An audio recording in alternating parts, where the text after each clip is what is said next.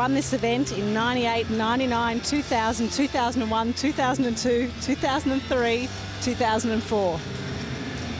So you're fair to say he's pretty good at it. You would think so. There's uh, the full list for you. Adam Pine, the two old boys in one and two.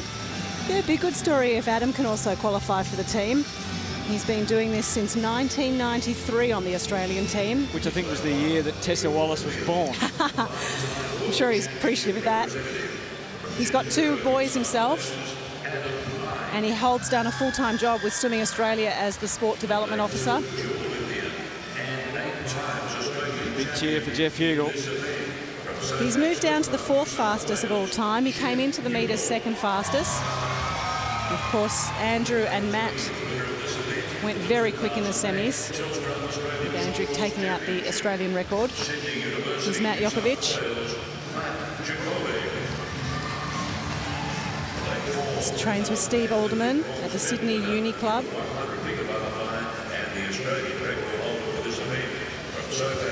Said he was saving the long suit for the final. Here he is.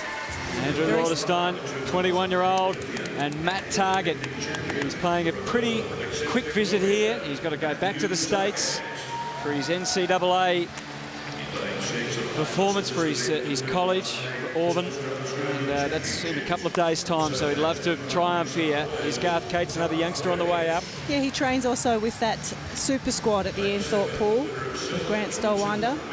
Chris Wright has already qualified for the team in the 200 butterfly on day one. Susie O'Neill's cousin By marriage. by marriage, Cliff Fairley, her husband, it's his cousin. Still a good story. Don't let the truth stand in the way. No, of course. Matt here's Lenton. Matt good, Lenton. Good swimming name for you there. Yes. Of course, she's now Trickett. So who do you like in this one, Anthony? I'll go for Targett. Okay. Thanks for putting the pressure on.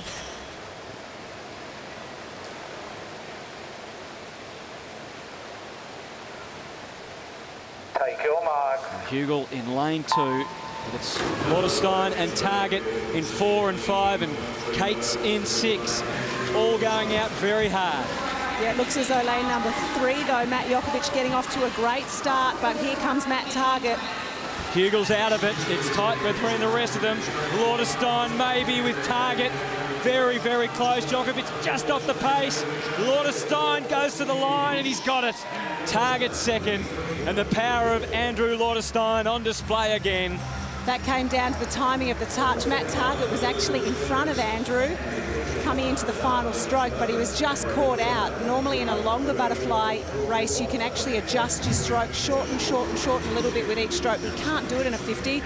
They're awesome off the start. That's Matt Targett closest to you. Here's the overhead, and you'll see that Matt Targett with a silver cap on is ahead of Lauterstein. Look at the big kick. Oh, break your heart, wouldn't it? All this work, but you have to get it right on the night. He'll learn from it. He's got the spot on the team individually in the 50 metres butterfly, as too Andrew has. So well done to those two boys. Both of them backing up with 100 freestyle semis as well. Whew.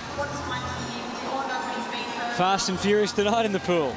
It was fast and furious. And for two of them, their work continues. Geoff got night. fifth, by the way, Geoff Huegill. He wasn't really in the race. Still step in the right direction. Absolutely. Adam Pine, the other veteran, in sixth. They'll both race the 100 butterfly a little bit later. Adam Pine Let's go down to Mark Howard, who's very busy on the pool deck tonight.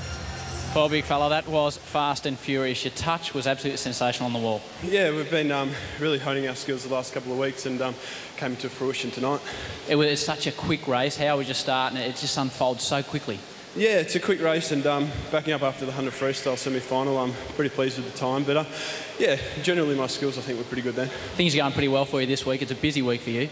Yeah, and it doesn't get much easier from here. I've got the 100 fly tomorrow morning and then so the double up tomorrow night. But um, yeah, I'm enjoying myself and uh, I showed there that I can back up and do two races in a row. So tomorrow, night- tomorrow night won't be a problem. I don't want to mention any names, but there's a few ladies around the centre here disappointed that you had the full suit on tonight, but you've done the right thing on the interview, mate. Yeah, yeah, whipped it off as quick as I could. Who are you looking to up there? Nicole. Oh, Good on you, mate. take it Well done. Cheers. He's a naughty he boy, is a isn't naughty boy, Howie. Look, it's for all of the female viewers. I'm sure they're enjoying it. What a night of drama it was. Sensation.